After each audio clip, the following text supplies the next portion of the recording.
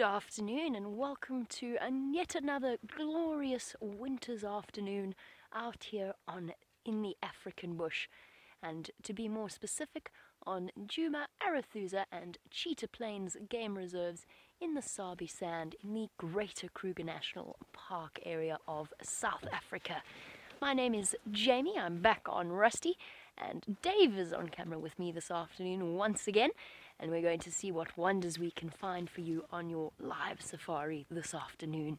James is out on bushwalk with Viam, again looking for all kinds of extraordinary things, some of the nicer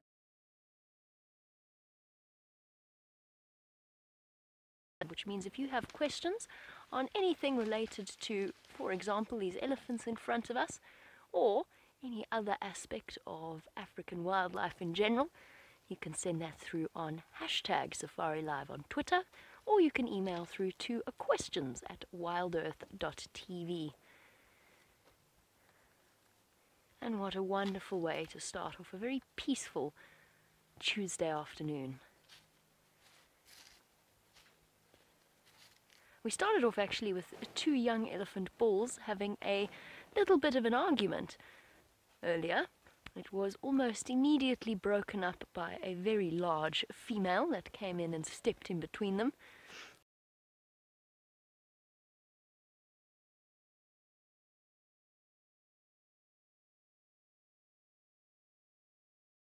To incur the wrath of the female, but instead to munch on the buffalo thorn. Now we're probably about mm, 200 meters or so 200 odd yards away from the main camp, the DRC. And we haven't had to go far at all on this afternoon's sunset safari to start off. And in fact, our walk down to the vehicle parking bays was accompanied by the gentle breaking of branches of this enormous elephant herd. There's lots and lots of them around, and I think they've probably just come from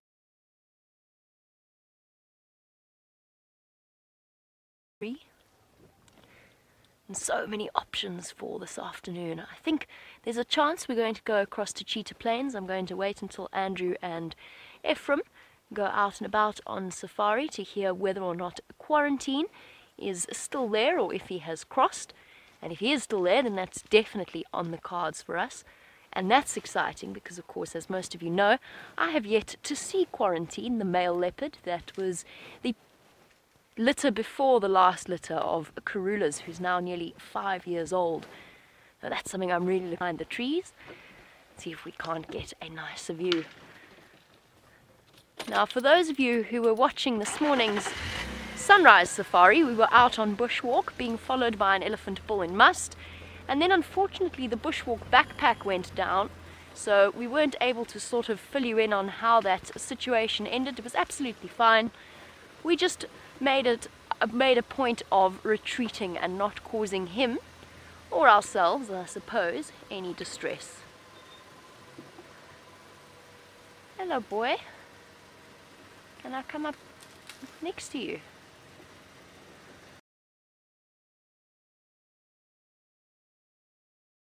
For now, I think if we go any further forward, then we're going to spook him a little bit, which we don't want to do. A young male at the age where he's now on the fringes of the herd.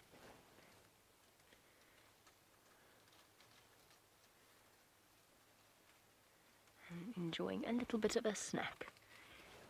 Beautifully warm afternoon compar compared to the morning. It's 22 degrees out here, which is 72 in Fahrenheit. Little bit of a breeze, but nothing major. This morning, of course, I nearly froze to death Ah, that's not terribly convenient. Suppose it's perfect for him. He gets a nice access to the buffalo thorn, but he's very much placed himself in a somewhat obscured view. Of course, if you missed the sunrise safari, I'm terribly sorry because you would have missed out on the opportunity to see the wonderful Mr. James Hendry wearing the fluffy pom-pom beanie that he said he would after yesterday's ranger race if due to our amazing sighting with Shadow and her little cub. which is absolutely phenomenal. I really enjoy, even if it was a, a slightly shortly lived sighting, we really had an incredible moment with the little cub hissing at mom when mom went to try and enjoy some of what was her kill to start with. So at least we know that Shadow's young cub is not in any way lacking in attitude.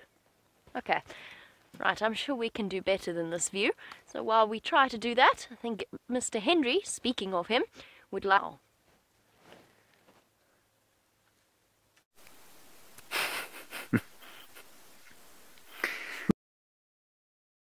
this little bush walk that we are going on today uh, in the middle of the Kruger National Park. Well, the infringes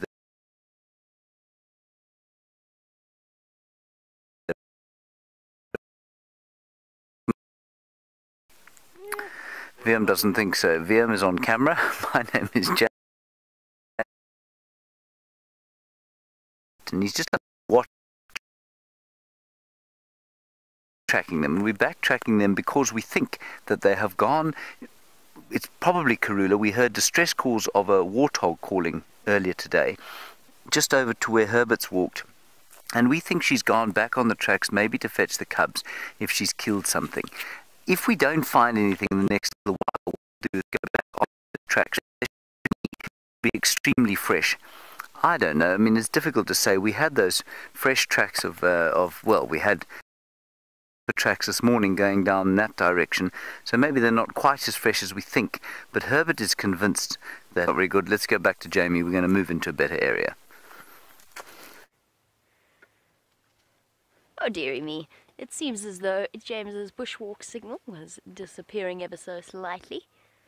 That's okay, we've managed to reposition to get a view of the large female that I spoke about earlier that was responsible for... Ooh, I nearly fell, in, fell into the middle of the car. It was responsible for breaking up the elephant bullfight earlier. And I think she just did that so that she could come and feed at peace with her little calf that's behind her. Beautiful big elephant cow. Relatively long tusks for a female between her eye and her ear, around the temporal gland. And it looks as though they've been a little bit stressed out. All of the females have evidence of those secretions. And that could well be just due to increased harassment by a number of large bulls that have been around the area the last few over the last few days. And they do cause a little bit of stress. The, I would say that the the largest cause of elephant discontent out here is other elephants, particularly elephant bulls that tend to be a bit pushy when it comes to investigating the females. I think if there's a chance to mate. And corner of your screen, just a large grey shape in between the trees.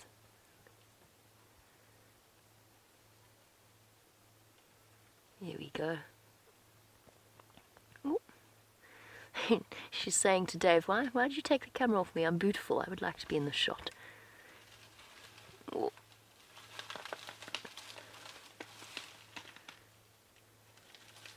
Hmm. There was a large tree in her way. She's made short work of moving it out of her way. And what she's actually doing is targeting the shoots and the grasses and so on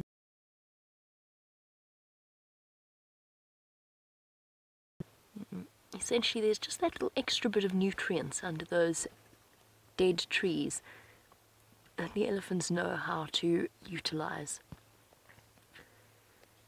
There's little one. I saw, by the way, I watched the clip of James's baby elephant sighting yesterday. I don't think that there is much as marvelous as baby elephant, or as a curious baby elephant coming up to the car in the way that his did yesterday. They are just so terribly sweet. Obviously, I'm sitting watching this this image through my monitor, and I have been struck by a question that I feel might There's a bottle of sweet, thick soy sauce in Rusty that I find most bemusing. Because, you know, every, every vehicle needs a bottle of Stafford's sweet thick soy sauce. Uh, Okay, there we go. The answer from Dave. It is it's it's apparently highly flammable and is obviously used to start the fire for fireside chat yesterday. Aha, so we do have a reason and it's not just that somebody suffered an enormous sodium craving at some point yesterday or perhaps this morning whilst James was driving Rusty. Okie dokie. Well, that explains that then. There you go, everybody, if you didn't know that already. Apparently soy sauce is highly flammable. What on earth is in it that's so highly flammable? I think that may just have ruined my enjoyment of soy sauce forever after. As you can imagine, access to sushi out here is somewhat limited. We're a little bit far away from the ocean to want to risk the idea of raw fish. We appear to be blocking the way somewhat. We let's reposition.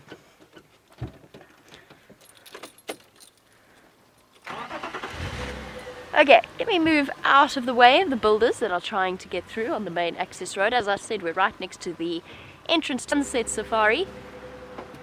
You wanted to know a little bit more about how the foliage is holding up in the face of the drought and the dry season and midwinter. It's fine for now, Debbie. It's um, it's dry. There's no grass really. The, the, the trees are going to be what essentially gets most of the animals through the the coming months since they, their root systems do have access to water below the surface of the of the ground and there is still water left but most of them have gone through their natural those that are deciduous have gone through their natural loss of leaves at this point. All of the bush willows have gone brown and orange. Debbie the, the time that's going to be really crucial and really difficult is going to be September October because of course for us, the winter, the dry season extends right through until then. And if you combine that with the fact that we didn't really have much rain to start with this year, we've got ourselves a relatively tough situation ahead. How does several tons of elephant disappear? None of them appear to be terribly visible from this perspective. I don't see any. Do you see any, Dave? They were all around the entrance to our camp, and of course we're looking across to the entrance to the DRC. There's the new final control being built and the wooden scaffolding around it that I'm, I'm not entirely sure what the, the purpose behind that is. It looks very secure. That is our main camp, everybody. And I think because our elephants are playing a little bit hard to get, I think we'll move on for now. I'm sure we're going to see plenty of elephants as we go along on the sunset safari. So I'll leave the slot for now and we will continue on. I want to make my way across to a place called Gowrie Cutline, where Herbert tells me, which is sort of what we what we had iron cubs playing in the sand yesterday when he went out on tracking team. And while we go off and James, who is on foot with some impala. Well, there is the Impala, also on foot, everybody. Sorry about you lost losing our signal there. Um, as I was explaining to you, we're just fossicking around here to see if we can find any further tracks of Karula, or whatever leopard it was that left those tracks, and whatever it was that caused the great screaming of a warthog in this area, some chilled to the max, as they say. Let's see if we can get a little bit closer to him.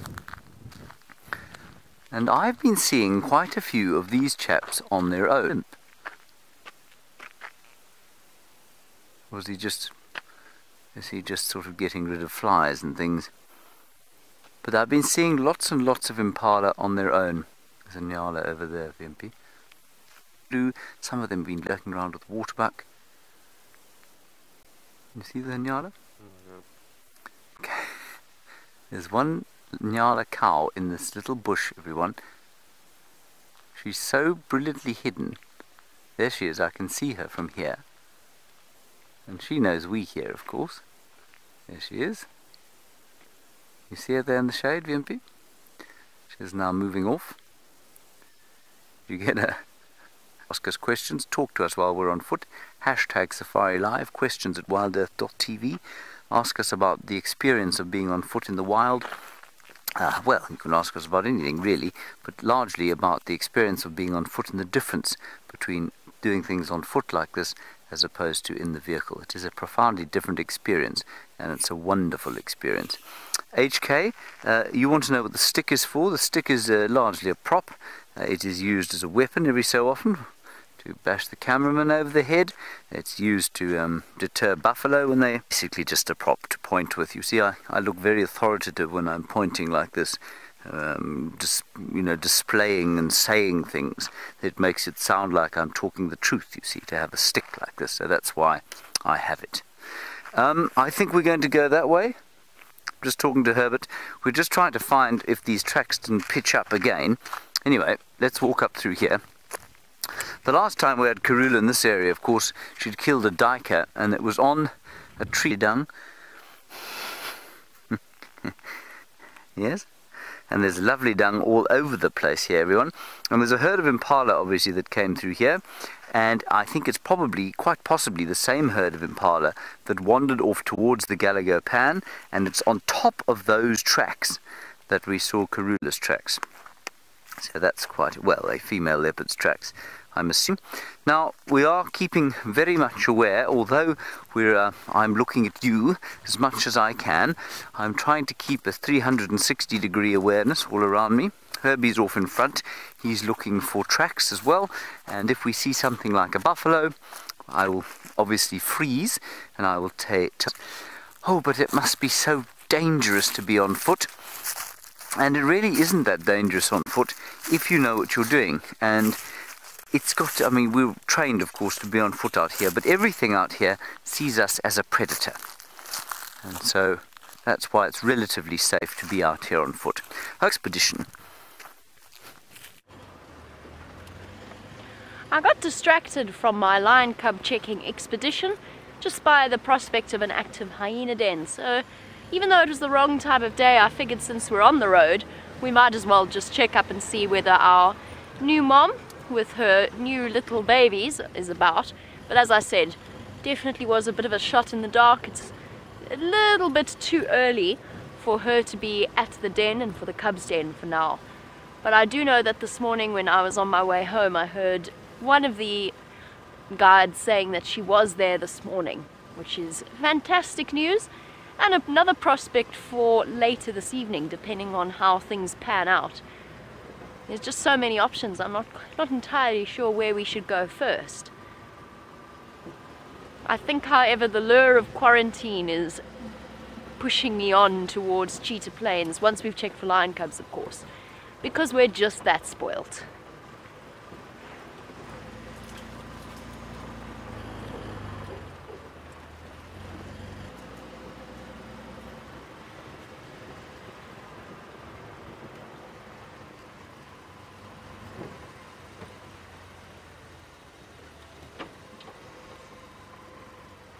There's a little duiker up ahead of us, was right in the middle of the road. Let's try and, I was going to say sneak up on it, but I think it's it's going to be gone. You see it there, Dave? Just moving along there. Oh! Tremendously shy little antelope. That's that's a leaf. Let's go forward a bit, see if we can't get another view of it. You got to be quick with duikers. They have a tendency. You, you kind of have to get lucky. Maybe is a better way of saying it. They don't. Uh, there we go. Hello. Here we go. Here's our little grey duiker. Antelopes. Oh, here we go. giving us a relatively good view for a duiker sighting. Most of them don't tend to stick around. As you can see, in terms of telling the difference between that and a steenbok, quite a straight back. They're very, very similar in size, those two different types of antelope. But a straight back and a slightly more grey colour, as the name grey duiker suggests, a grey or a common duiker. This is a little male, males against other females of the same species, and the males against other male species, other males of the same species. Try and get that sentence to make a bit of sense.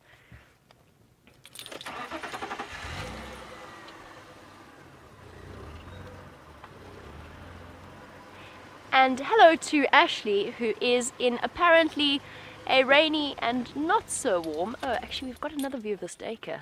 Surprise, it's actually quite relaxed. There we go. Sorry, Ashley. I'll be with you in a moment. Let's chat about this duiker first, and then I'll answer the question that you have asked. Little mixed feeders. Combination of browsing, snuffling, even recorded, especially with duiker, although all animals will do this, even the herbivores, the obligate herbivores, they will actually feed a nibble off carcasses occasionally. Boom. Gone. Oops, sorry. That was the top of my head. And he's gone. Wonderful. Lovely little duiker sighting. Sorry, Ashley, from your cold and not so warm or cold and rainy England, which sounds about right for my three years that I lived there. Which is the deadliest animal, be it large or small? Ashley will have to wait in suspense for the answer to her question. I can safely say, Ashley, that the deadliest deadliest animal is not the duiker. It is relatively tiny, and I certainly wouldn't want to corner one with those little dagger-like horns. But it's safe to say that the grey duiker or the common duiker is not the answer to Ashley's question. The animal that kills the most people by far is it's a sort of an interesting one. It's the mosquito, as which was one of the options that you suggested in your list, and that's just due to its sticks seem to point to the hippopotamus being the next most deadly animal in Africa. Uh, it's up to you how you think of that. First of all, I think that the crocodiles probably claim more people than we realize. It's just because the, their, their bodies are often not found. They simply disappear that perhaps they're not, not all deaths by crocodile are recorded. But hippopotamus, well, they live in rivers and people build their homes next to water. That's, that's just how human beings work. We need water for day-to-day -day life. And so, of course, to the hippopotamus, in terms of the large mammal, is the one responsible for the most deaths. Now, from a deadly creature like the hippopotamus to a not so deadly feathered animal, let's see what evidence James has found.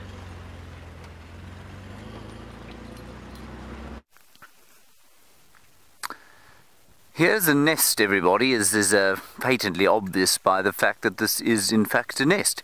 We don't know what made it though. Now, Steph found one very similar the other day and also didn't know what it was, and I I really can't think. Not a dove though, because doves put their nests up in the tops of trees and they're often made of sticks. And so I don't really know what this is. Uh, dove sized, yeah, it's really difficult to say. Green pigeon, perhaps? I don't know. It's not very high off the ground. It's only about probably three and a half feet off the ground in it, but those may have fallen off the trees. And VM was just saying, um, imagine if he was a, an elephant or a giraffe, he'd have plucked this thing out of here and eaten it a long time ago. Um, I reminded him, of course, that uh, birds are full of parasites, and therefore uh, it would taste probably very disgusting. Um, there is, are of course, those people who make soup out of the swift nests, but those swifts make their nests out of a foam. So it's a sort of a swift saliva soup, which I think sounds even worse than soaking this in water and drinking the proceeds. Anyway, that is a fairly untouched by browsers. There's a little bit of browsing that's happened on the top here. You can see where my stick is pointing. HK, you see how useful my stick is?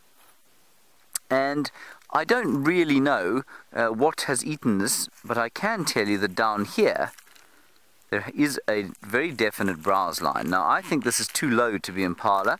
I think this is probably duiker that's eaten away at around it, is that it is very rich in tannins. Um, many invertebrates have had a go at it. You can see they've eaten off the sides of the leaves like that. See that, VMP? But there are lots of very nasty tannins and things in it, and I suspect that it's sort of late season forage for people. So, not for people. Yeah, it's really very rich in tannin. It's um, like really cheap red wine. You know him? Liam is uh, deeply excited. You can hear he's a. Uh, let me just. He, this is what he did. He did this. Big because the elephants have def. Maybe it's, pro it's probably elephants that have had a little bit of a go at the top there. Um, yeah, it's interesting that it seems to be, well, there's one that's been taken out, I suspect, by giraffe there. Maybe the giraffe are coping with the with the tannins. Then just have a quick look over here. Here's another interesting thing. Can you see here, VMP? This particular branch here is green. Now, on some trees, they're very specially adapted in that the young branches photosynthesize for themselves, so they don't have to grow leaves. And that's very clever. While you're growing up, and uh, before we're able to photosynthesize. You see how green it is there? And likewise, these thorns will be able to photosynthesize as well. So that means while the tree is growing, it doesn't have to suck all the nutrients it needs either from stores that it had as a seed or from the roots. It can actually still make nutrients despite the fact that it has no leaves. And I suppose that must help also in the wintertime. Now, the green thorn, or the torchwood tree, is a great example of something that has a photosynthesizing stem or thorn. I am, of course, extremely um, jealous because um, this morning Herbie made he made um, he made Jamie a bracelet. He hasn't made me anything. I'm obviously chop liver to him, Oh well, it's just the way it goes. And Jamie's bracelet is still on her. You must ask her about it. It's very pretty. Um, I wanted a more manly one, of course. Celia, you are wondering about coming for a bushwalk in Africa and how fit you have to be. Well, it depends on what you want to do. So, I mean, all of the lodges around here offer what we call the 11 o'clock walk. In my opinion, the poorest possible experience you could ever have in the bush, especially in the middle of the summertime. It's not too bad at this time of the year. But that's normally just an hour long stroll through the bush and you look at the little things, the small things, and you experience looking at tracks and birds and trees and that sort of thing. A bit like what we're doing now, um, but without the tracking part of it. Um, Celia, or you can do something like a Kruger Wilderness Trail or an Umfolozi Wilderness Trail. And what that is, is a full-blown uh, trail. So you'll walk a few days and uh, you can carry your own stuff. And then you do need a generally good level of fitness, but it's not, um, you see, you don't really hike through an area like this. It's all very much a case of, yes, you can spend hours on foot, but it's not so much a case of sort of going from one point to another, climbing up mountains and going over steep hills and valleys. It's very much a case of very careful walking, absorbing the atmosphere around you. And so you don't have to be massively fit at all, but you can't be um, certainly uh, totally sedentary at home. I think then you would struggle. But not for the 11 o'clock walk that you do at most of these lodges.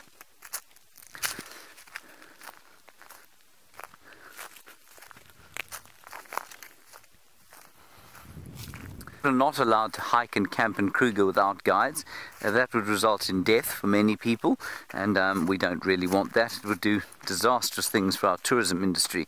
You can, however, uh, you can camp uh, in Botswana without a guide. Well, I mean, you can camp in Kruger, but you can't go for a walk then. You camp within a fenced area um, but you can't you can't go for a walk. And there are places in Botswana and Zimbabwe though, that you can pull into, and they have a campsite. But I mean, there's no fence around the camp, so you can basically do what you like. And I mean, they do lose one or two people. It's NH native for somebody to come into an area like this, totally inexperienced, um, to camp and then go for a walk. Because if you didn't know how to react to an animal, if you didn't know how to interpret the bush around you, uh, it really could be quite dangerous, especially with young kids. Here are some bones, Bimpy. Shall we try and identify them, or shall I embarrass myself by trying to identify them?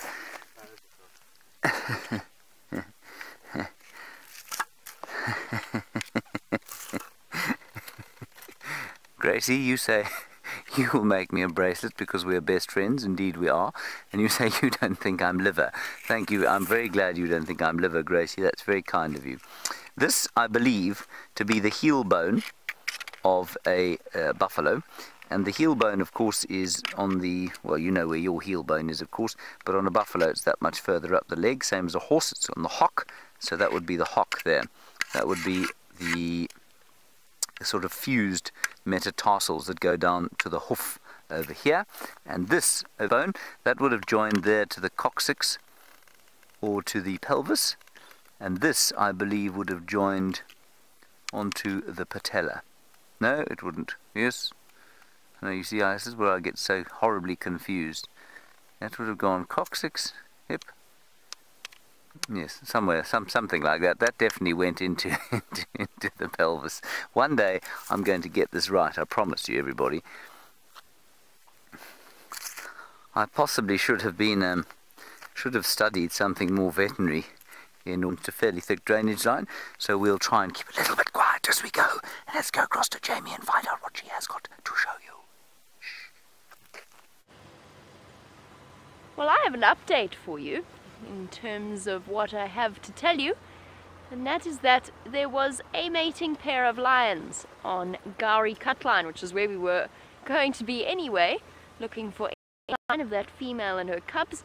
Apparently the mating pair has returned to where we last saw them, which was on this road, and of course we had that incredible and the newly the new mother that has since moved her cubs onto Djuma and is obviously lactating. And there was a little bit of hormonal I, described it as hormonal confusion where the female then the, the female in heat in estrus started mate or attempting to mate with the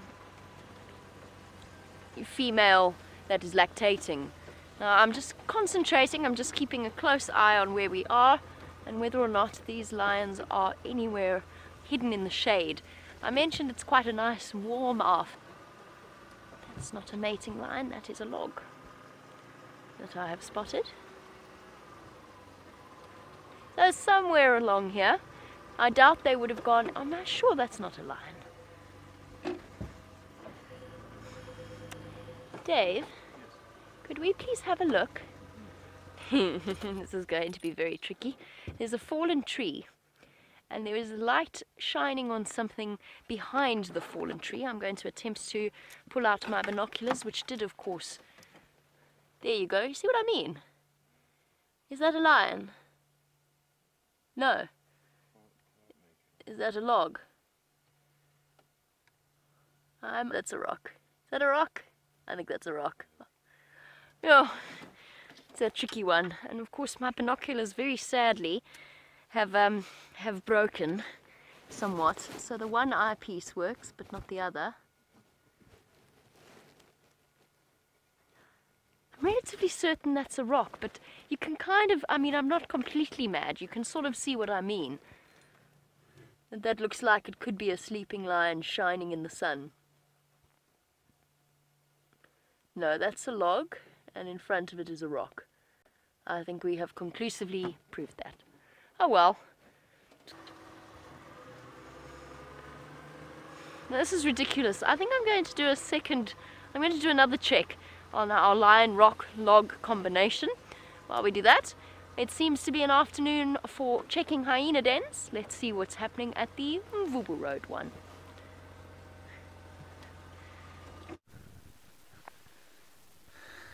Well, I've come here to the Mvubu Road Hyena Den, everybody, we, Viam and I have come here, um, just to have a look. And we came up here because it didn't seem like there was anything here, and hasn't been for a while. The big adult was at the Galago Shortcut Den this morning. I don't know if the cubs were there. And there are some tracks of cubs around here, but I don't think they're fresh, especially given the amount of leaves that have fallen into the entrance. But what I do want to show you here is how very, very deep it is and I don't know if Viam is going to be able to show you. Can you get your... Have a, just have a look down there. Viam's handed me his torch. That's probably... What do you think, Viam? About... And that's why no lion or leopard is ever going to go in there and a hyena cub. I think that's magnificent. Anyway, then the other activity that's been around here since the hyenas have left, clearly some dwarf mongoose. We've got some dung of dwarf mongoose over here. Tiny little tracks, you can just see them.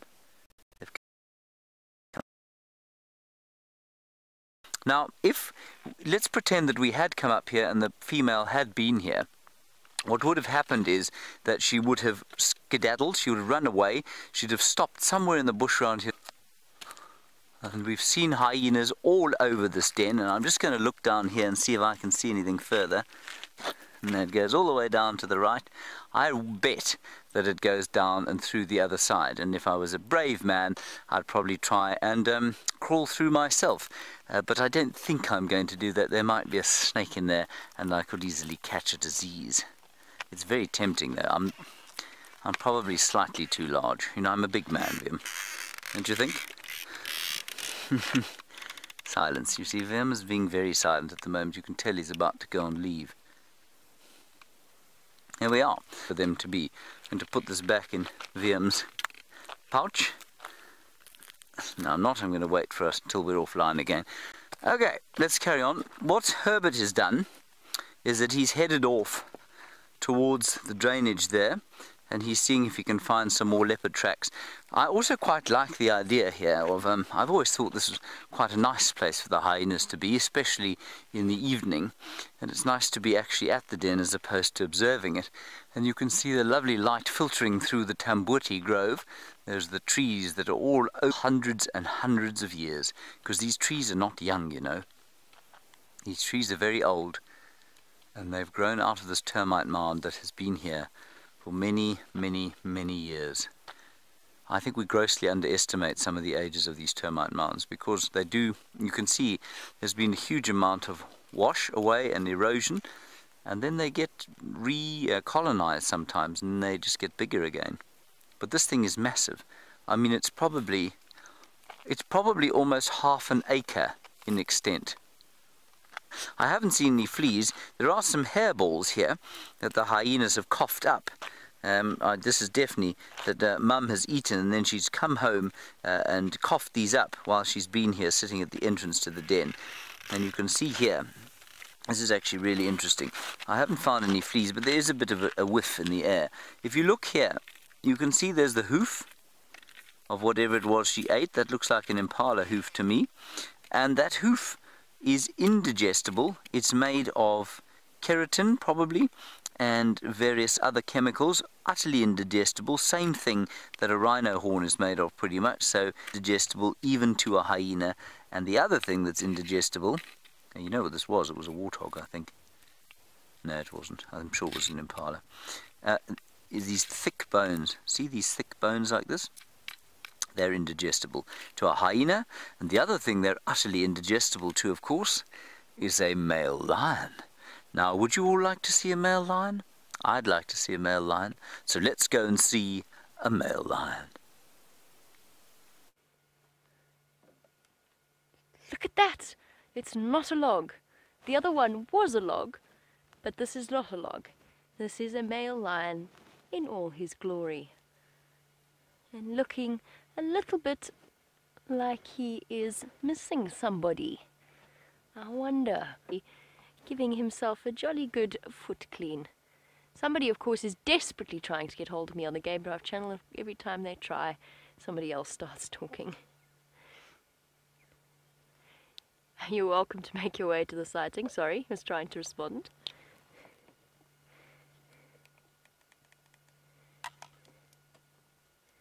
Isn't he absolutely glorious? Right, let's reposition so we can get a view of his face. And it also gives me an opportunity to just have a look at the tracks in the road. I think this female has ditched him to try and make her way into the drainage line to join the other female. Unfortunately, they have found cheetah on Buffelshoek, which is most unfortunate for us, but lovely for them. Here we go, tracks everywhere. Looks like just tracks of the male when he popped out of this drainage line. There we go. Just wanted to have a nice look, see if I can't get an idea as to where the female went. But if he's come through from here, chances are she is somewhere in here. Maybe hiding out in the shade. But I, ah, but if we could go and have a look. It's so thick in there. Okay. Alright boy, let's get another view and make some space for the other vehicle that is coming to join us.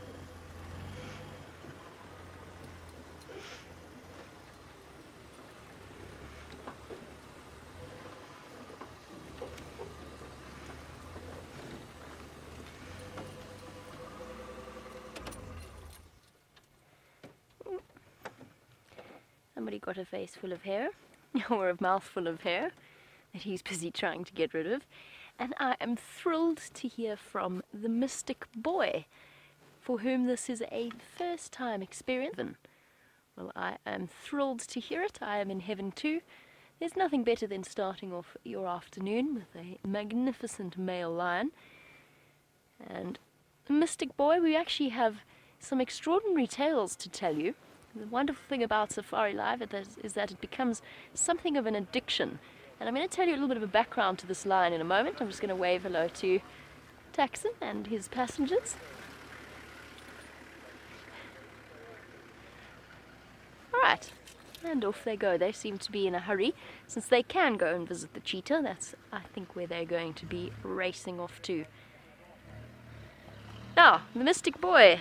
A little bit of history for you and any new viewers who have not yet encountered the Birmingham Boys.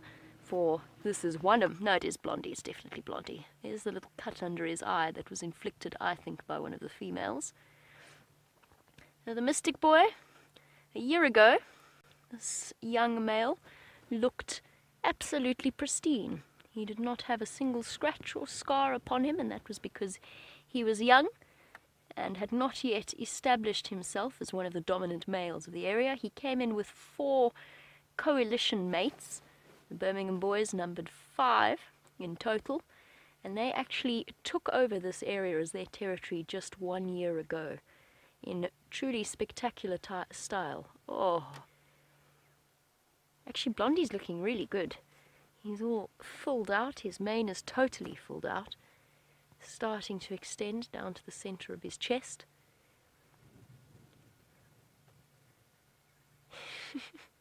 what are you doing? Oh, oh, just what a day. It's a tough life being a male lion, especially when every time you mate with a female she gives you a smack. So he's looking as exhausted as he is, first of all, because that is what lions do and secondly because he has been mating with a lioness for the last probably the last five or so days. I'm actually surprised that he's let her out of his sight, which means I keep double just as we separate, or just as they're separated.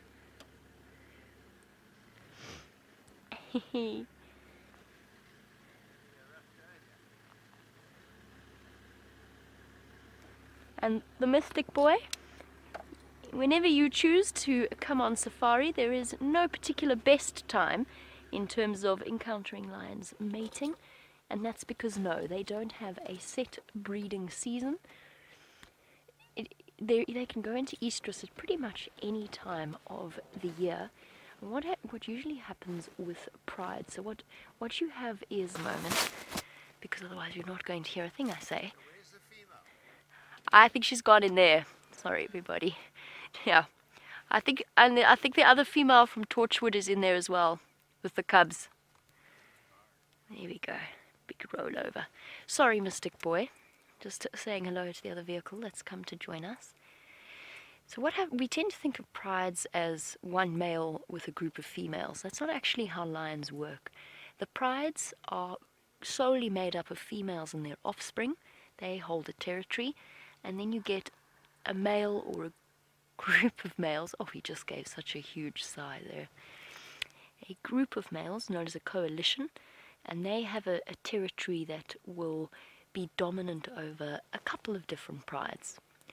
So there's no set breeding season, although what will often happen is that the female looking after the offspring. And doesn't he just look absolutely exhausted?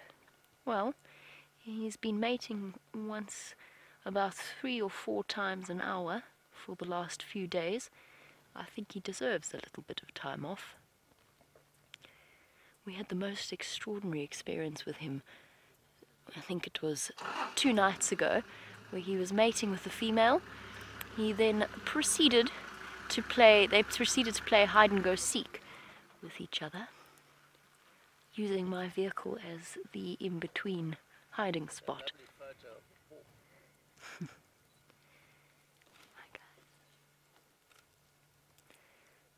okay guys, I'm going to give up my best seat in the house for a moment, and let the other vehicle come and have a look at his glorious head, since at the moment they've been presented with a less glorious view of his bottom.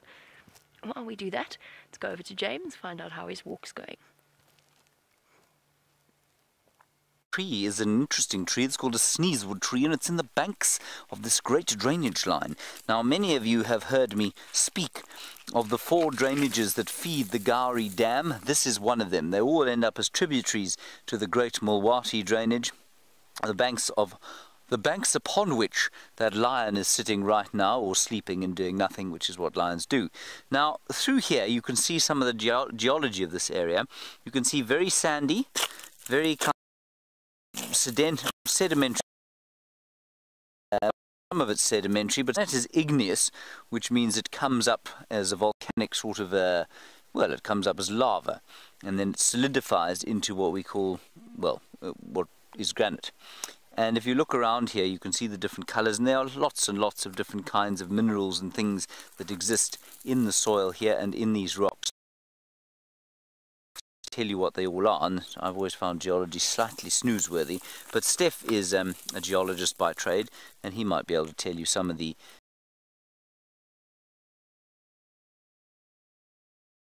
and that's what mainly makes up this granitic sort that these drainages there's no ways that they could have remained as they are here um, you know flowing once every I don't know, flowing once every 10 years or so for a, half a day. They couldn't have created these amazingly beautiful sort of fissures through the earth unless they flowed for much longer. And the only way they would have flowed for much longer, because the catchment for them is very small, the only way they would have flowed for much longer is if there'd been a lot more rain at some stage. So thousands of years ago, I suspect there were probably, I, I estimate that the the rainfall here was crisscrossed all over the Lowveld, feeding the major river, rivers, which are sometimes perennial, but largely they're annual.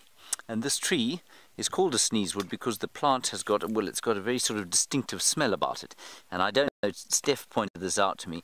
I don't know if you've you're from.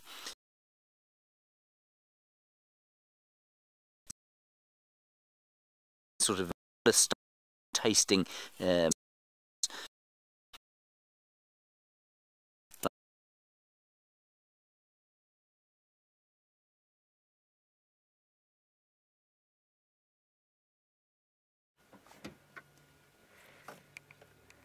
it seems as though James has come back to him, but we've got to go. And I'll explain to you in a moment. I'm just waiting for the other vehicle to come past and move on. But there are, Steph's just called us to let us know that there are alarm calls at the dam. This morning we were following alarm calls. Let me just wait for the car to move away from him so we don't disturb him. One engine on at a time. Okay, there we go. Bye-bye, boy. We'll be back. I promise. Sorry, everybody. I know you very, very excited to see a male lion, but he is not going anywhere anytime soon. And whatever's making alarm call, or whatever's causing the alarm calls at the pan, might not be there for too much longer. So I'm convinced she's come back here and she's brought him with her because she wants to go and join that lioness with the cubs. And I'm convinced that they're in here somewhere. But that is a topic for a different conversation. It's Ferrari Safari our way to the dam because Herbert reported hearing distress calls around the dam itself. The dam cam is down from final control side. And I'm sure that Tingana, because Herbert found big male leopard tracks, I'm sure he was responsible. But we must look for the lioness at the same time because it could also be her. So, you know, juggling several balls in the air at the same time for now. Hello, Impala. You look very relaxed. You don't look like there's any lions chasing you or leopards.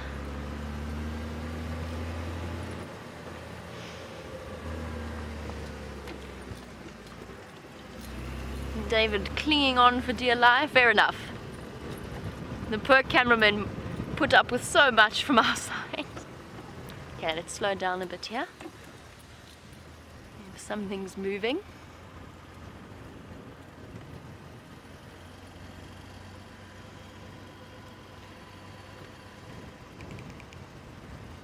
Let's just investigate.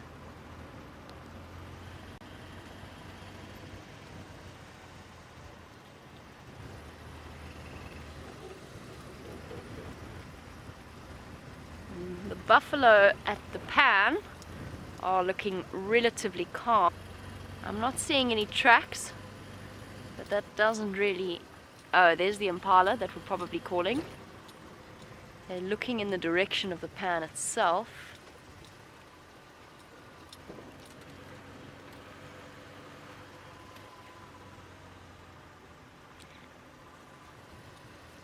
Could be absolutely anything. Could be a lioness. I'm not sure what was alarm calling. I just know Steph heard alarm calls. But everybody's looking relatively calm.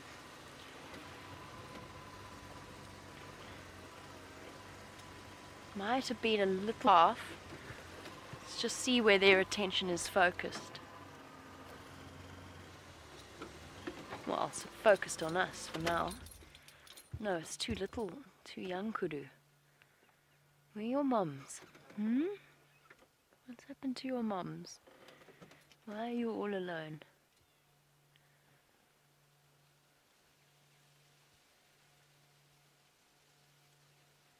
There's kudu at the other side of the dam as well, drinking, looking very relaxed. So let's just sit and listen for a moment.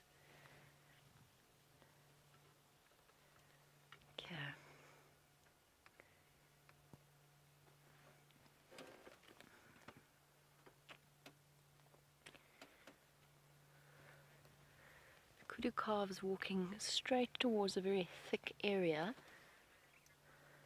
Those kudu looking perfectly relaxed.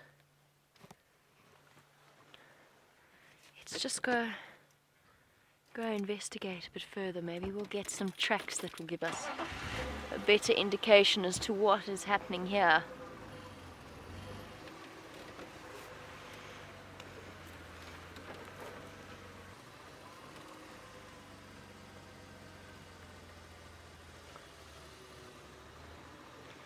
The impala look very relaxed.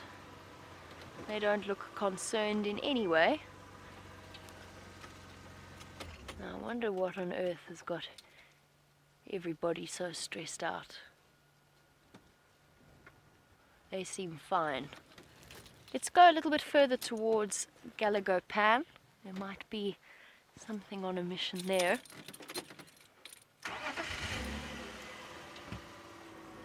All that excitement. There's got to be something here somewhere.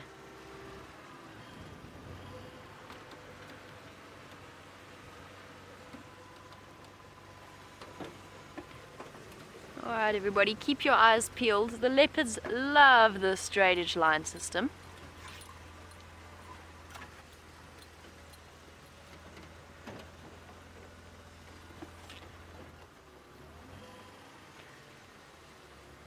nothing here. Of course, could be Mvula, Tingana, the lioness, see?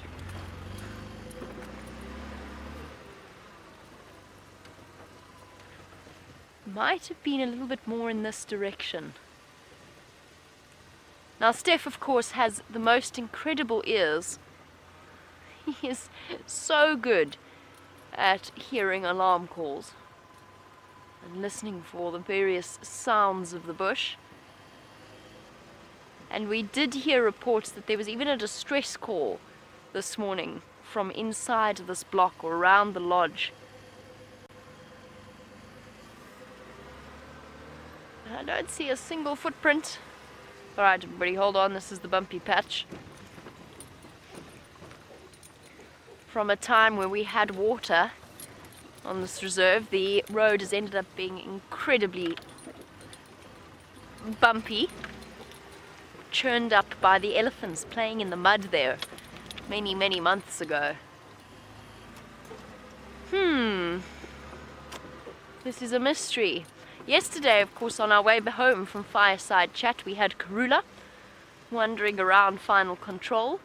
And then this morning with all of the alarm calls, it know, seems to point towards the possibility of at least one leopard hiding up somewhere around. Okay, let's try double check Galago Pan.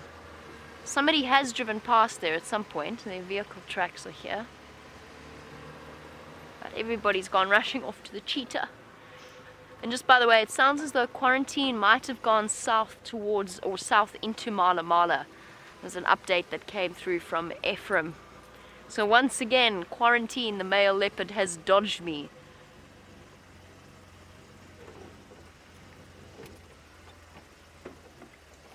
Everything looks far too calm. Single animal here that looks on alert or stressed. Can't see any monkeys. Monkeys are usually one of the best indicators that something is up. And all of the animals looking perfectly relaxed. So if there was a predator moving through here, it was a predator that was, must have been on the move. Here's James's tracks from where they walked past Galago Pan.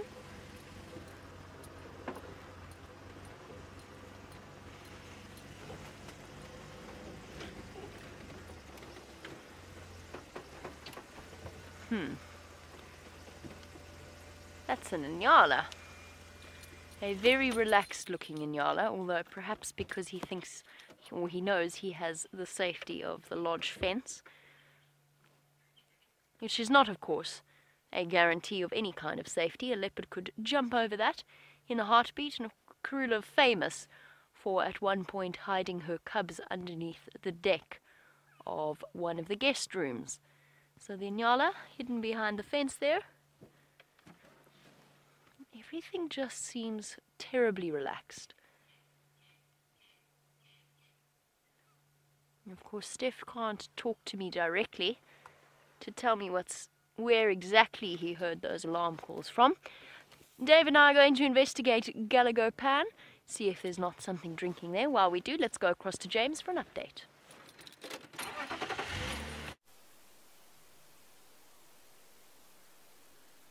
We're just not far from where Jamie's sitting right now.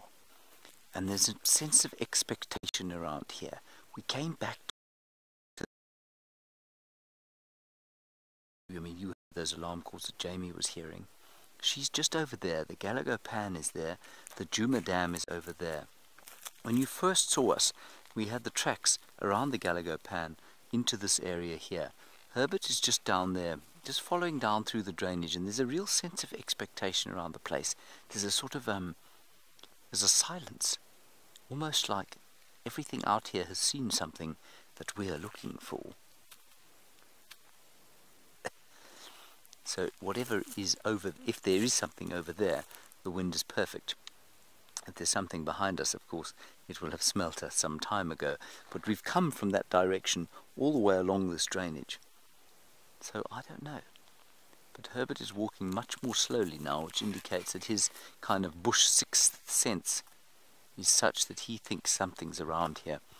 The road that Jamie's on is just above there. In fact, you can see her moving there. There she is. Let's see if she spots us down here. I'm sure she will. And she's just checking around the Galago pan. But there really is a sense of something. Alright, let's go and try and catch up with Herbie. What we'll do is walk up here. Herbert is down in the drainage. I think we're going to lose if we go there. So we're going to walk up this way. And we're just going to keep looking at the ground, seeing if we can find any leopard or lion tracks. Plenty of female lion tracks in there. Remember we've talked about the fact that we think maybe the Nkuhumas have been in there uh, giving birth. Uh, no cub tracks in there, but plenty of female lion activity crisscrossing this drainage system.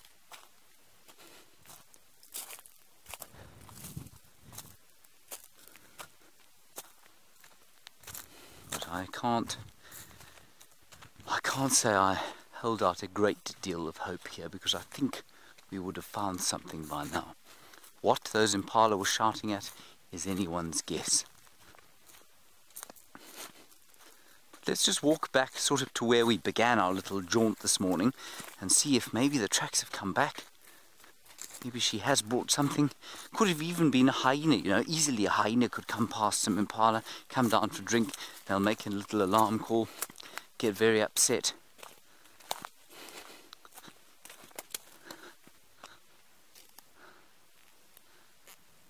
Have a listen, everybody. Let's keep listening out for things.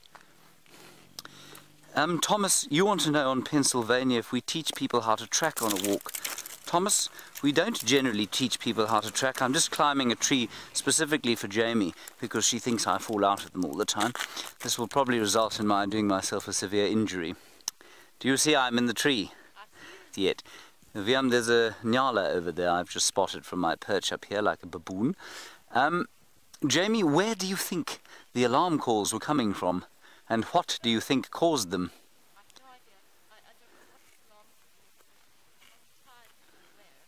So Jamie says she doesn't know what was alarm calling and she doesn't know where it was. So it's all rather perplexing, to be honest, everyone. Um, and Steph did go and have a look and he hasn't.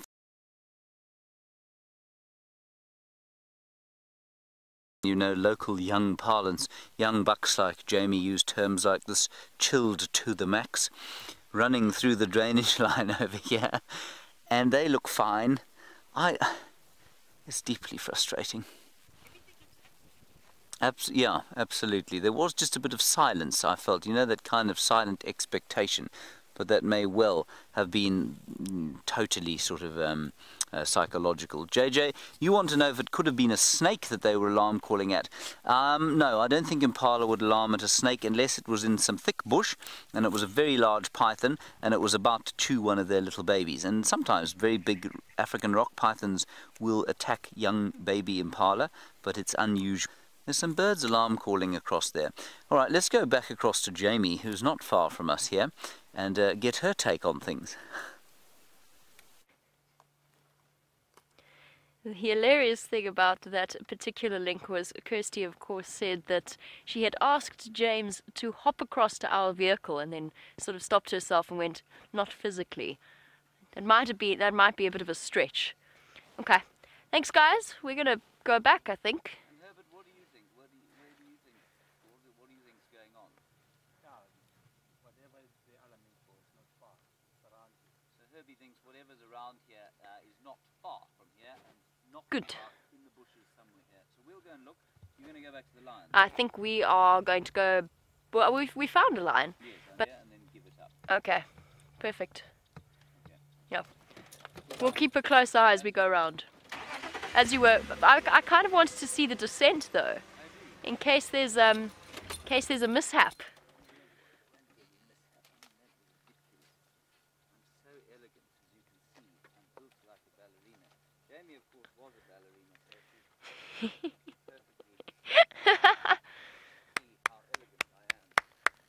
Bravo!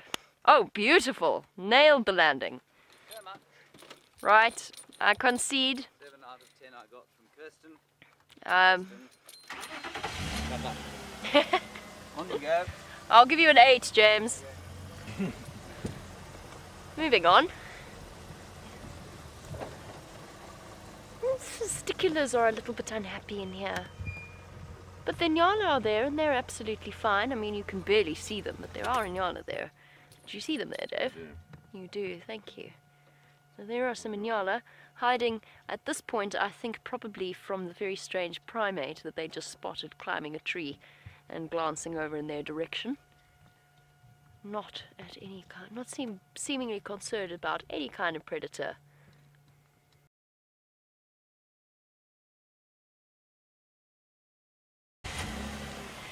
A really good question coming through from Monique in London. Uh, Monique, since we're busy looking for watching the, the behavior of the other animals, and James pointed out the expectant silence, but everything seems perfectly content and relaxed. So Monique's just thinking about how long it might take for the animals of an area to relax if an animal catches one of them. And actually, truth be told, they relax very quickly. But you'll even find that animals, when they can see a predator, even if it hasn't caught anything, if it's not showing any signs of predatory behavior, if it's not stalking, or if it's just lying down flopped in the sun, those animals actually can be quite content to give it a little bit of a wider berth, but still stay within the vicinity because of course it's not a, it's not the lion or the leopard you see that catches you. It's the one that's hidden away. And very often if they see that the let's say with buffalo, if they see that the lions have caught a, me- a member of their kind, all right, buffalo are a little bit different, but they do tend, the animals do tend to relax relatively quickly. I feel like I'm going completely balmy. Like I've been following alarm calls all day. It always happens around this Galago shortcut area, or the Galago Lodge, Vuyatela Lodge, because it's made up of the densest, some of the densest vegetation in this reserve, combined with a number of different interlocking river systems that makes spotting and finding something, unless you bump right into it, somewhat of a tricky, tricky practice. But a really good question, Monique, and the answer is they relax relatively quickly.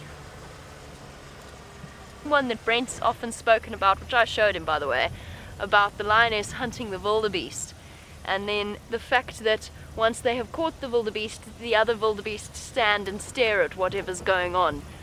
Uh, you can have a look if you want to. Have a Google of Billy Connolly and the wildebeest. Please do not do so if you are um, offended by in any any kind of strong language. He is Scottish after all. Um, so if you're offended by strong language, don't Google that. If you're not and you'd like a bit of a giggle, Billy Connolly and the wildebeest. Have a look. He's got some comments to make about the fact that the animals hang around after one of their kind has been hunted. And indeed, whether or not wildebeest know that they are wildebeest or if they think that they are zebra or vultures or anything that they see, since there's no, as he describes it, no mirrors in the savannah. And he's absolutely right. I've almost forgotten what I look like at this point. Oops.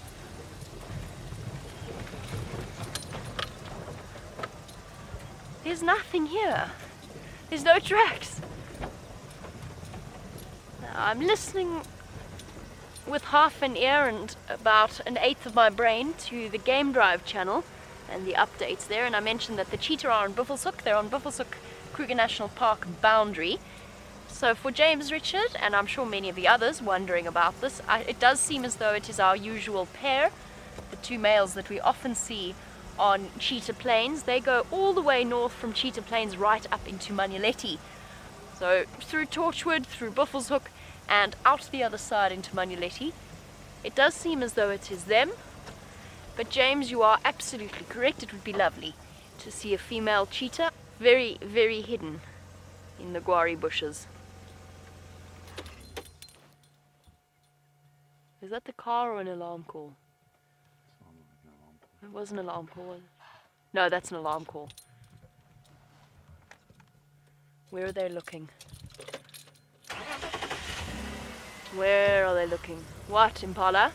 Okay guys, we are getting we're getting closer. Just keep your eyes peeled. In this oh no, not in this drainage line. Where are they looking? Oh. They're barely looking. They don't look concerned at all. Half-hearted barking. What? And then half of them have gone back to feeding. I really hope we don't just have a group of impala that cried leopard, which is like the boy that cried wolf. They're looking, ah no, they're looking straight into this terrible block.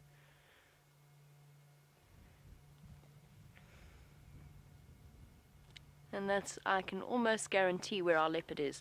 We're going to give it a try, folks. We are going to give it a try.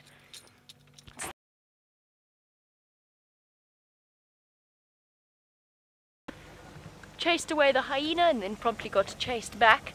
It is an absolute nightmare of a block.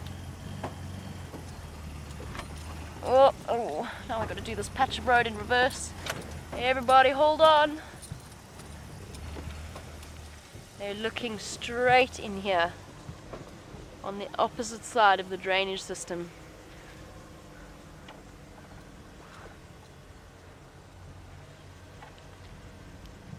A bit for Jamie.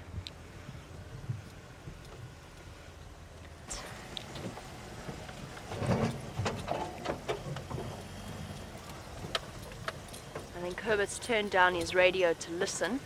Okay guys, let's keep our eyes peeled. These Impala, I don't think it's a false alarm, but I think it's quite half-hearted because just like we were talking about with Monique's answer to Monique's question, I don't think this predator is displaying predatory behavior. I think it's just walking. But they're alarm calling off in this direction.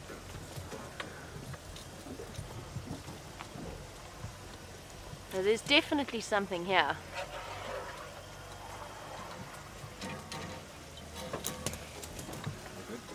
Got it? Sorry, we've got to go backwards or else we're going to smack the VR rig.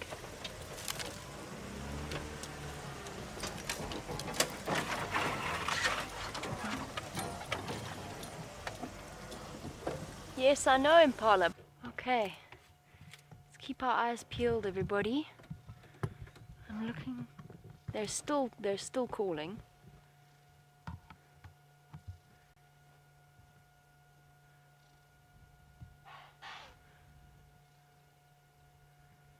All right. They're still. Oh. Burns now upsets the sticklers alarm calling everywhere. Where is this creature? Are we on the right side of the drainage line? Now I'm just trying to communicate to Herbert that the testiculars are furious. That's the, the rattling sounds we hear. Where? Where? So close. There is something here. Unless they got a fright because of the baboons that we just heard, because that didn't sound like a baboon alarm call. In fact, those baboons are not alarm calling at all.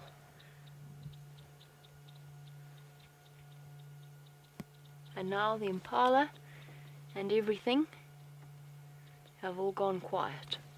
Let's go forward a little bit. I'm not going to continue into the block. Everybody keep your eyes peeled. There's something here. It's just a question of what it may be.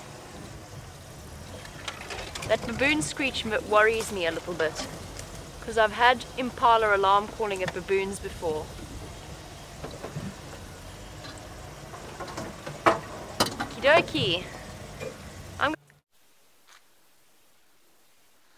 There's a buffalo, everybody, at the pan, a long way away from where we're sitting, probably about 150 meters.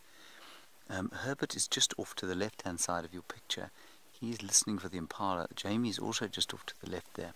And then to your right hand side, there is a very large jackalberry tree in which we've seen leopards before. And what we're just going to do while Herbert assesses the situation over there, let's just go around here and see carefully if there isn't something hanging out of the tree as if the Karula was the killer, that it could be up in a tree like that. I wonder if Jamie's not hearing Impala alarming at lions. There were some lion tracks around here earlier, and it makes sense to me that there should be lions in that area. Let's go. Let's get an assessment from Herbie. We haven't found any further tracks around here, so it's really difficult to say I don't think that's an official acronym.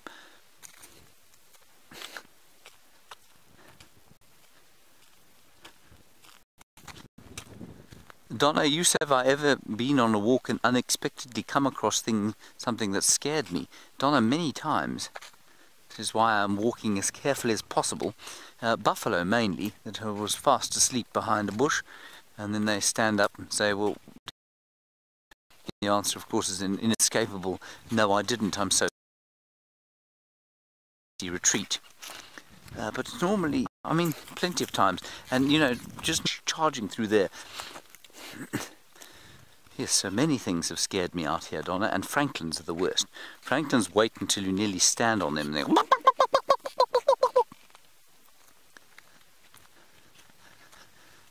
I see Jamie's vehicle up again. We might have to have a brief conference with her.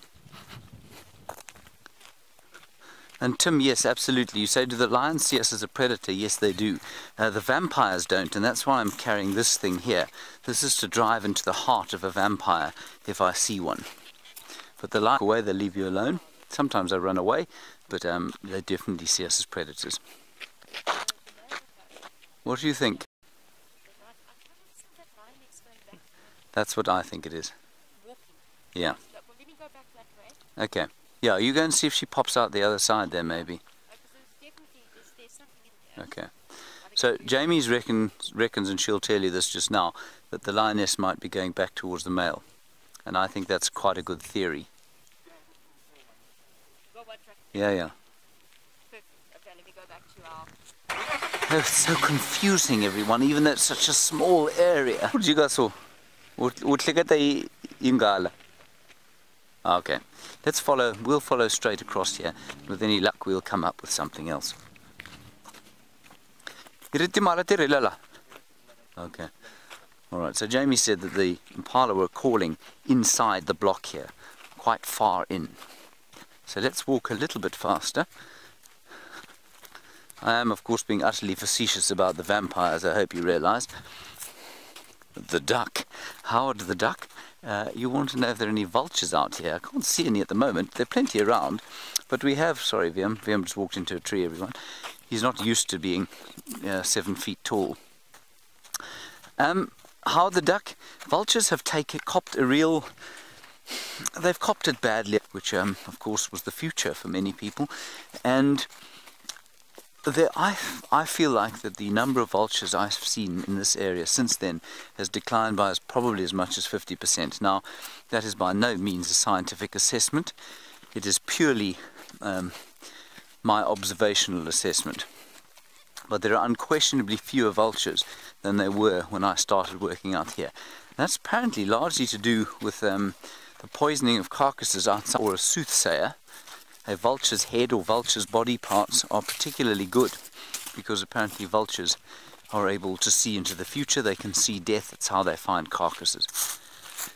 Now, whether or not you believe that is fairly irrelevant, simply because it is actually, you know, it's a, it's a belief that many people have, and I think that's a major, major issue. So no vultures around here. Were there to be a kill, the vultures would come.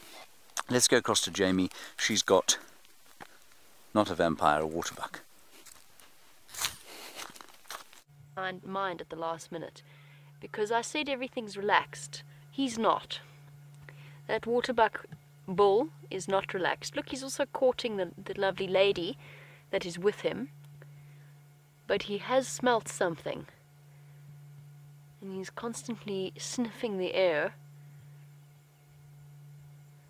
to just double check. And I wonder if we're not going to return to our male lion only to find that his lady friend has rejoined him, as James suggested.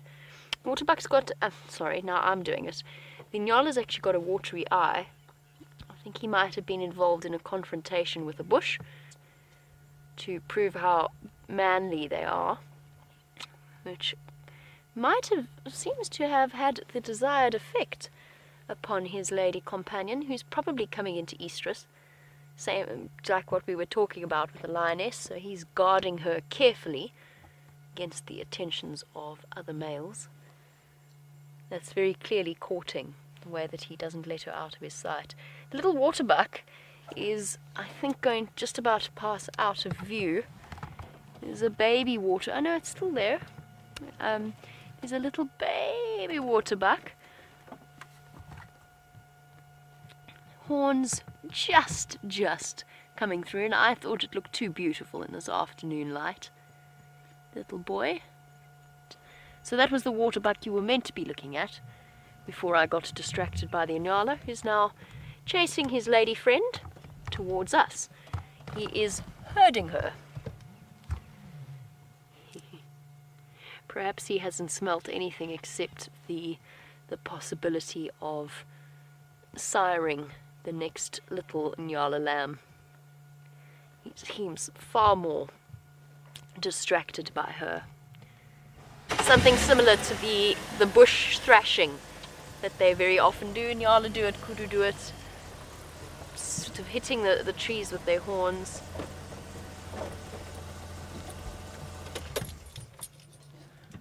There we go. He's looking bold and impressive with his fur rippling in the afternoon breeze. And there you go, you can actually see his watering eye. He's hurt his eye in some way. It might have been fighting with another male. I think most likely it's from. Oh, wait, lady, wait. Oh, shame. She wants to go that way. He wants to essentially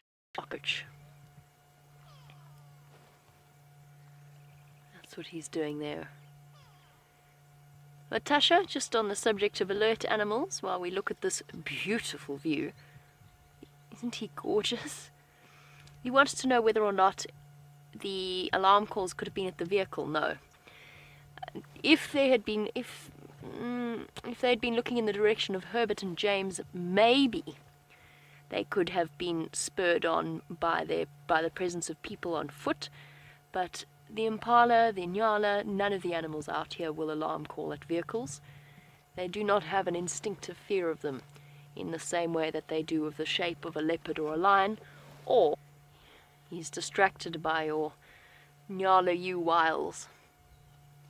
Right, I can't stand the suspense anymore. Let's go back to the line and see if that lioness hasn't made her way back in that direction. Just have a funny feeling that's what's going to have happened.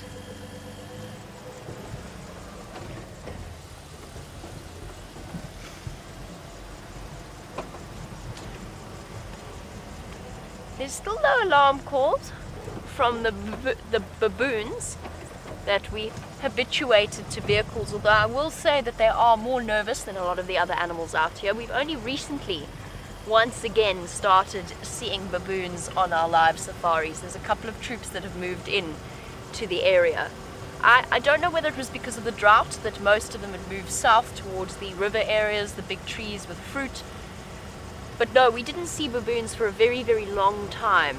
I'm told that before I started working at Safari Live and for Wild Earth, the viewers used to see a group of baboons or troop of baboons known as the Gowrie Gang on a very regular basis.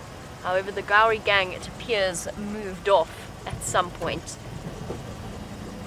Really, with baboons, is to be very careful, for, well, it applies to all animals, that you don't leave rubble lying, rubbish lying about, edible rubbish, the, dust, the dustbins have to be secured because baboons are very clever and they learn very fast where they can find regular access to food.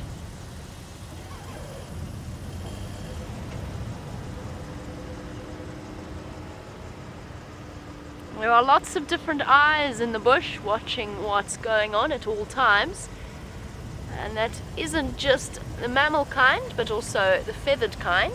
Let's go and have a look at James's francolins.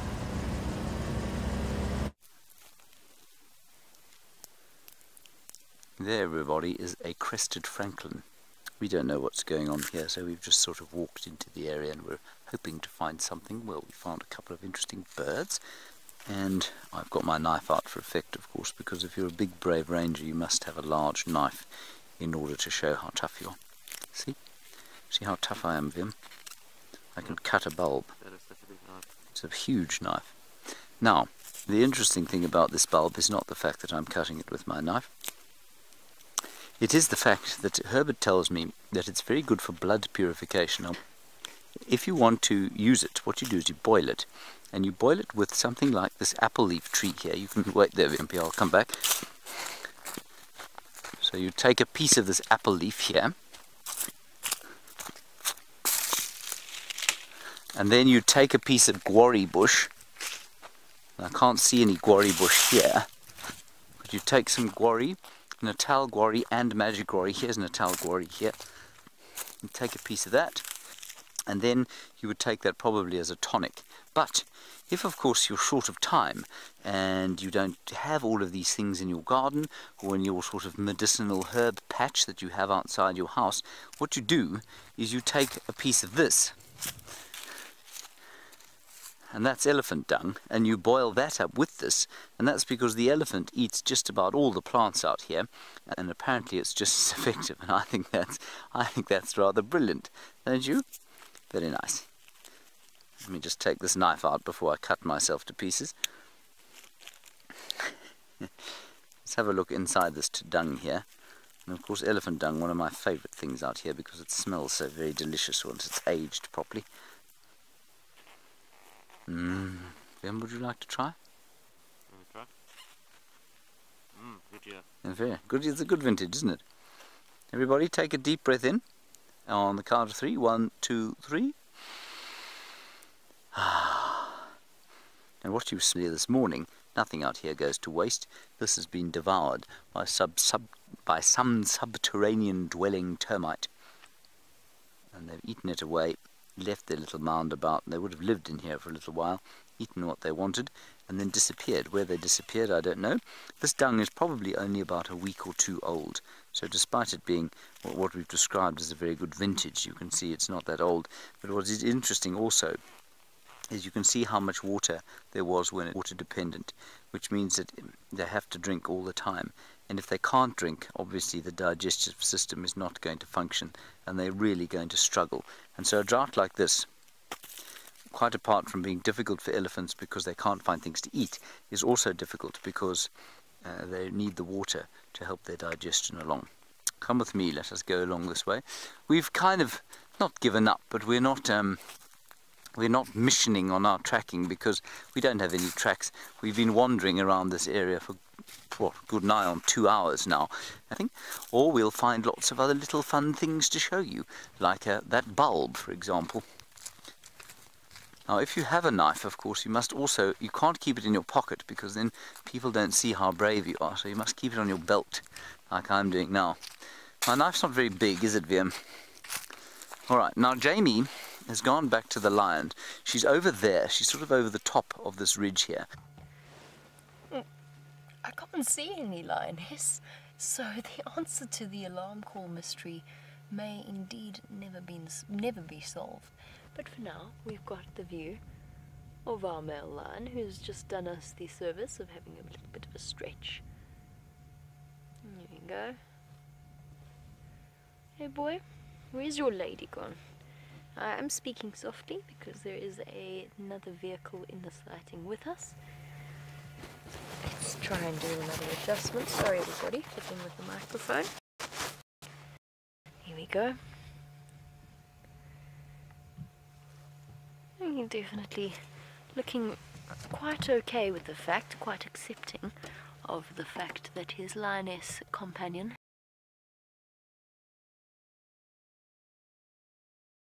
whether or not she snuck away or if they had just split up naturally.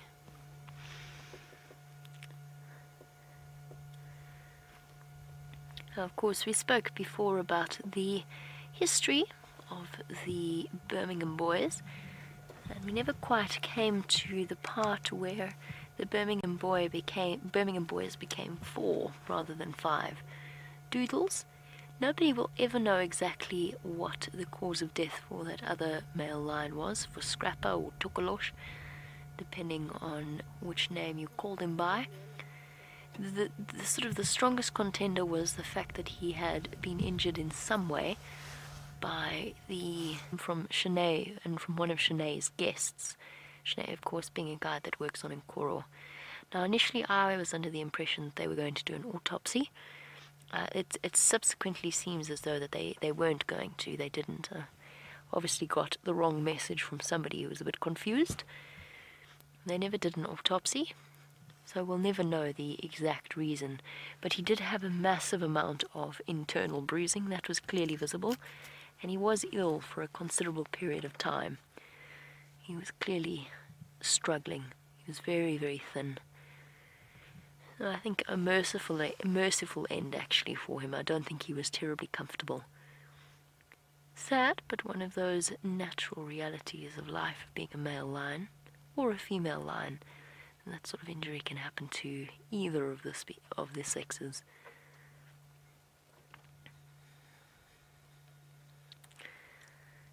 Uh, Heidi, there is a, a distinctive possibility that we to the Nkuhuma pride.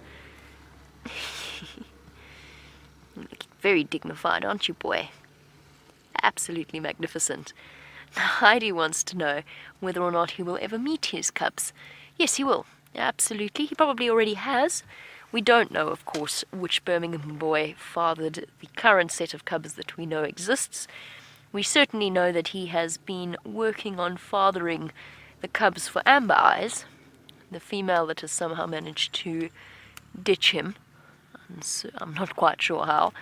But he will at some point. All of the Birmingham boys are potential fathers at this stage. I think they've all been seen mating at one point or another with either the Styx or the Nkuhuma females, the Nkuhuma pride. And they have been seen with the Styx cubs before. So they will meet at some point. They'll come through. And lions don't tend to be what I would call hands-on fathers. Play with their tail, bite their tail with only the odd grimacing snarl if the cubs take things a little bit too far and maybe utilize those sharpened pointy cub teeth slightly too much.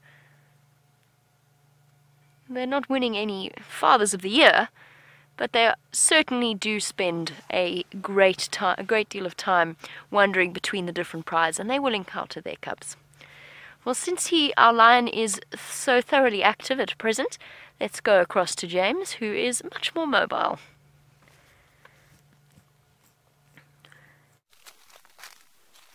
And addressing you. This is a sour plum tree, and as Viam says, it looks almost exactly like a peach tree. And it uh, makes fruits, very nice fruits, the opposite of what you have, um, what you might call a sour worm. You know those sort of sweets you get that are very sour on the outside and then very sweet on the inside. These, this is sort of the opposite. And Herbert was just telling me that if you want to make sour milk, and people out here do drink quite a lot of sour milk, so the fresh stuff uh, tends to be not as favoured, turns it sour immediately, and apparently it makes a very delicious and refreshing drink. Now, the other thing we have here is a snail shell. Now this was, I think, probably the beginnings of a giant land snail, and you can see how it began growing there, where my finger is pointing now, and then it spiraled outwards growing slower and slowly and slowly and slowly until it became very large and it would be eventually become probably about the size of my fist. That would be a giant land snail. Now, if you take the end of it off, so just those last few segments there, or last two twirls, you crush it up, soak it in water, and if you have an eye infection or even a cataract apparently, what you do is you squeeze that into your eye, and that will take away the pain and possibly even clear up the cataract. And I just think that's that's remarkable. Now, just about every piece of information I've given you on the last two walks that I've done, um, you know, uh, has been from Herbert.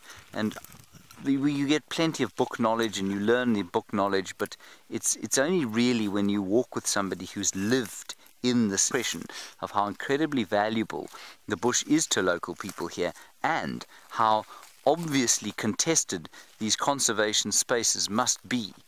Because, of course, people were removed off these places. Come over here, Vimpy, Herbert has found yet another something amazing. Oh, kom heen. Hm? Matanza. Oh, la. and astoundingly I'm able to identify what we're going to show you now. You see here, see these two things here, and I'm going to cover them up again. They've just been uncovered. They're under a log. That there are two gecko eggs. Now I know they're gecko eggs because the geckos out here only lay two eggs at a time, two or three eggs at a time. Most of the lizards and the skinks lay, I think, a few more than that, up to 20, and the snakes too. Well, that, I think, are two little gecko eggs, exactly the same as the gecko eggs that we found inside the buffalo skull during our little TV special. Isn't that amazing? So we will cover those up. Apparently they will be dormant for, I think, I'm sure the whole of the winter. And then when summer comes, they'll hatch and the little gecklets will go off and see what they can find to eat. But I mean, imagine the terror of hatching out of something so tiny and having to make your way in an environment that is well, I mean, it's quite threatening if you don't know what it's about. I think that's really amazing. I'm just going to pick this thing and show you. Even this tiny, seemingly inconspicuous piece of grass, you just hold it in the sunlight, has got a spider living in it. Or had a spider living in it. You can see there. Isn't that amazing? Might even be a cocoon of some kind. I think that's just too spectacular for words. Like shining golden honey coloured in the sun. Hmm.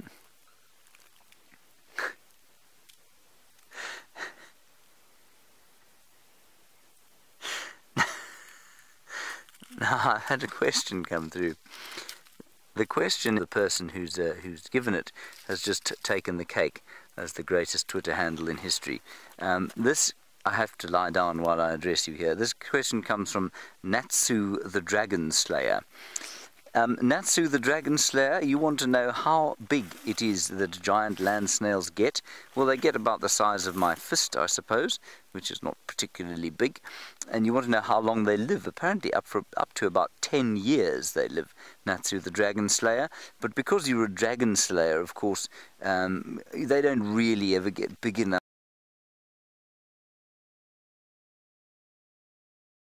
Stomp on them. We'll get rid of them if you have an infestation. But Natsu the Dragon Slayer, thank you for getting hold of us. Please do it again. Um, and I look, I, I know that there's nothing out here that would uh, that would tempt you to come out here and sort of uh, uh, offer your services, but you might like to come out here and see some of the predators that we have here, the lions and leopards, for example. Um, uh, no dragons in this particular part of the world. Have you seen a dragon here? What about a monitor A monitor lizard. Yes, we have a monitor lizard, of course, which is about the size of my stick. So also not much of a dragon. You wouldn't be able to question again. I'm too amazed by Natsu the Dragon Slayer. I think that's so wonderful. Oh, uh, you want to know what animals eat giant land snails?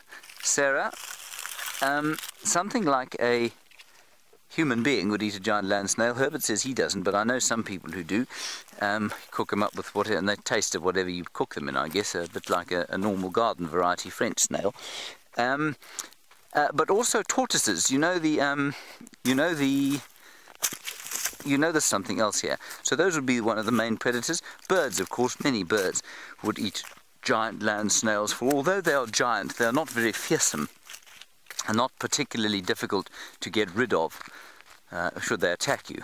But Natsu, well, should dragons ever come into this area, I'm very pleased that we now have contact from you.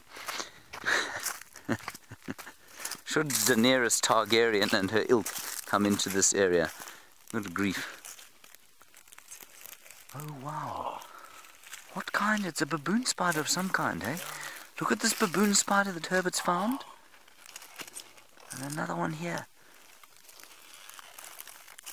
Now this is a different kind of baboon spider from the ones that we normally find that are in the open. Can you see it there, Vim? It's an astonishing thing. We'll try and get you a better picture of it. There you go. There we are. Look at that. So it's yeah, it's, it's the same family as the tarantulas. I think it's probably pretty harmless to human beings. There are some species of baboon spider that are not dangerous to humans but can give you a bit of a nip and then you won't feel so good. And this might be one of them because it does live under a log. And I think that I read that the ones that are a little bit damaging to us are these ones. So they don't dig a big hole like the baboon spiders that we uh, find, say, on quarantine clearings, like the one we had during the uh, Father's Day special. We had a wonderful baboon under here in a sort of shallow, silk-lined depression. Isn't that amazing? We found one the other day, and it was much smaller than this. Let me just have a look at this. James Richard, you say, why is it that certain species of spiders are out and about while others are dormant? Um, you'll find most of them are dormant. They're not out and about by any stretch. Herbert turned this log over to have a look underneath it, and that's why we saw the spider. It'll be lying there almost inert for the duration of the winter, especially there. They will stay pretty much dormant until the summer comes. And look at, there's another dormant thing inside here. Over there, you can see a millipede there it is. And they too will be pretty much dormant until the rains come. If there was a little bit of moisture, these guys come bucketing out and see if they can eat some dead plant material that's been sort of rendered rotting by the moisture. Let's cover him up again. And we'll cover this guy up. There's another one here. We'll cover her up as well, probably a her. Alright. Don't want to, um, ooh, all sorts of nasties inside there. There Right, let's go back to the lion and see what they're doing. I suspect absolutely nothing. We're going to head back sort of towards the Djuma Pan.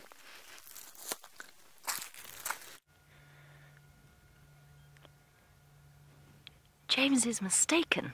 Our lion's been phenomenally active. He twitched his cheek once, and his feet are moving every now and again. But he is correct in, in one sense. Oh, look, there we go. We've even got an ear twitch. Oh, it's all go here. James is, of course, entirely correct. Nothing can sleep as comfortably as a male lion who knows that there's not much out here that's in any way a threat to him. That being said, I am this chap is going to wake up. He's going to wake up and realize, although I think he knows already, that his his lovely lady friend has long since left, and I suspect joined up with her pride mate in the drainage line. At that point, he's going to get lonely and he's going to start feeling the pangs of hunger that inevitably come after five days of solid mating. So, what that means is that he's going to want to find the rest of them, and he's going to do that through a contact call. And I'm really hoping that before the end of our sunset safari, our gentleman here is going to stand up, stand up and give us a full impression of why the lion is so extraordinary, hopefully with a full bellied roar. Stay tuned. For the moment, he is very happy to be fast asleep, but he gives us a lovely opportunity to examine him very closely. Since we do happen to have the camera, that will give us a closer perspective on a lion's magnificent anatomy. And we'll start off with his nose, which is starting to get patches of black.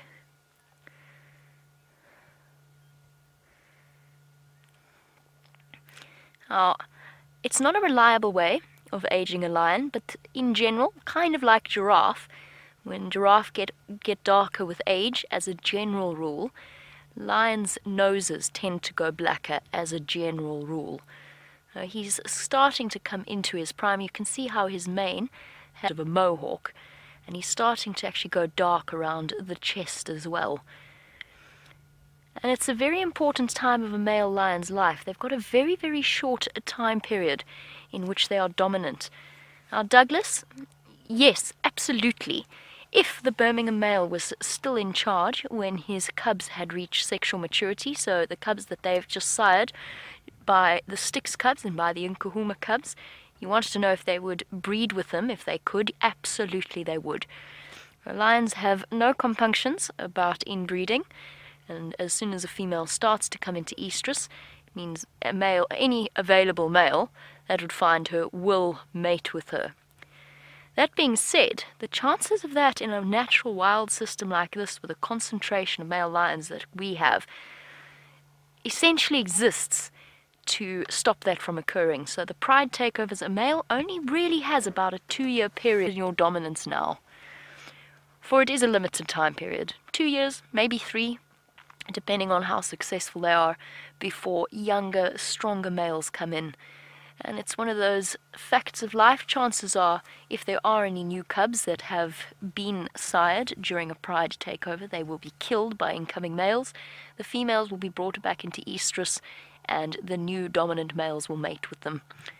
And that's just a way that nature has evolved in order to prevent the possibility of inbreeding. But it still happens. It's one of the big reasons why closed systems, in other words, the smaller private reserves of South Africa and the world, have to manage their lion population. Because absolutely, their, their instinctive response is to mate with them. And I mean, we saw it even with Junior, the young to show more interest, an almost Oedipal interest in his mother, or his potential mother, or his aunt, one of the females of the Nkuhuma pride. the system has very cleverly evolved to prevent that from happening where possible. And the Matimba males, if they were still dominant now, we know that the young sub-adult female from the Nkuhuma pride, she's now an adult, fully an adult, and she was seen mating with one of the Birmingham boys or at least attempting to mate with one of the Birmingham boys, not too long ago. If the Matimba males were still in power, so to speak, the previous males of this area, they would be mating with her, even if there is a very strong possibility that they in fact fathered her to start with. Very, very common to have that um, male mate with the female, producing our next generation of cubs. Starting to get very chilly.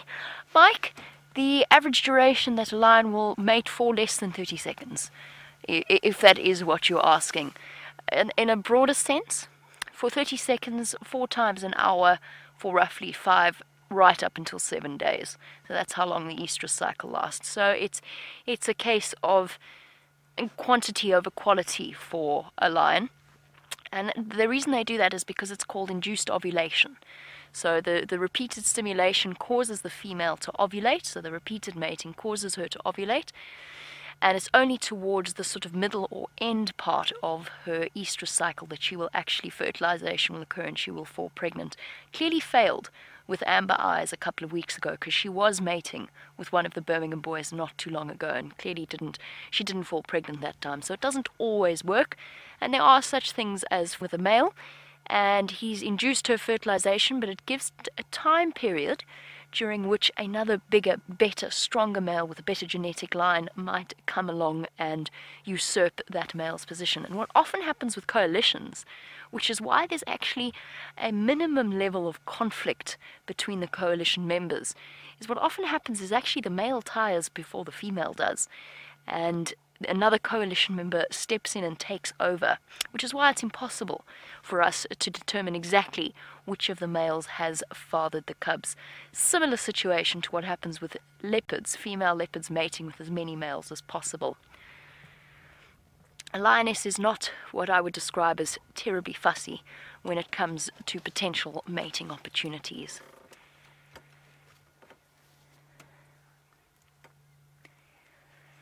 Watching in Durban. Wesley, I've just come back from Durban. When I left there, the weather was absolutely extraordinary. I went there with Brent. We had a marvelous time. We got incredibly lucky. I hope your weather is still as glorious as it was when we left. Wesley is a new viewer and would like to know how long a lion can sleep for. Lions are absolute in terms of all of the oh, big stretch. If there were a sleeping Olympics that could be held out here, the Lions would be the undisputed champions.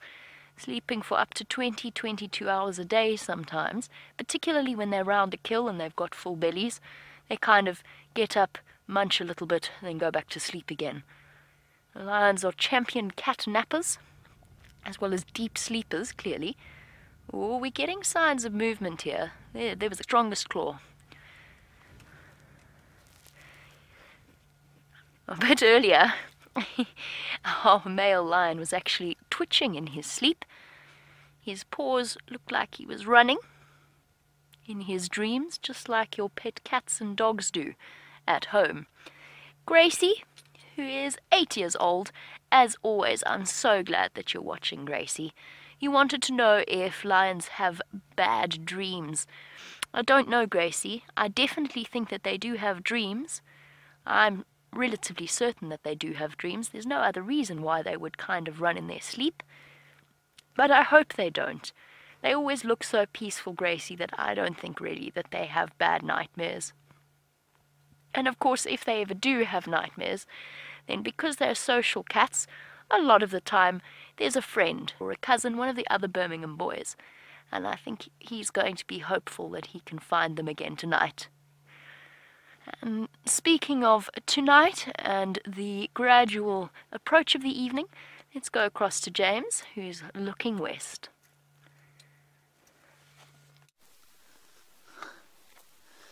More accurately, northwest, everybody. There is the sun sinking down below the western horizon. Very pretty. We're not lurking around here too much, and I'll show you why. We've just come across a buffalo. He's moving away from the water now, and you can, if we just look through there, you can see them all starting to move away from the water. They're going off to do their evening grazing.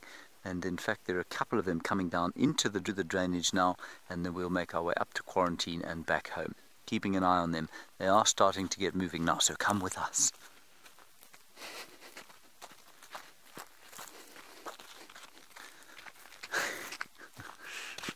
We're going to just try and skirt them. We don't obviously don't want to come across them now because it is getting a little bit darker.